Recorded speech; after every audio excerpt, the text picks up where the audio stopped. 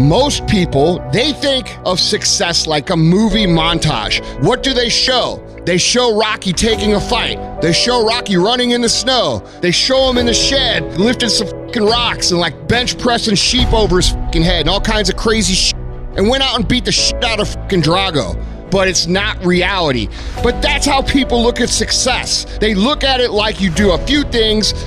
Fucking ate right for three days. Why am I not a fucking fitness model? I did my tasks that I needed to do. I sent five emails. Why am I not running a $10 million company? Because they don't understand what mastering the monotonous means. It means doing the shit that most people are too fucking undisciplined to do day in and day out to the best of your ability.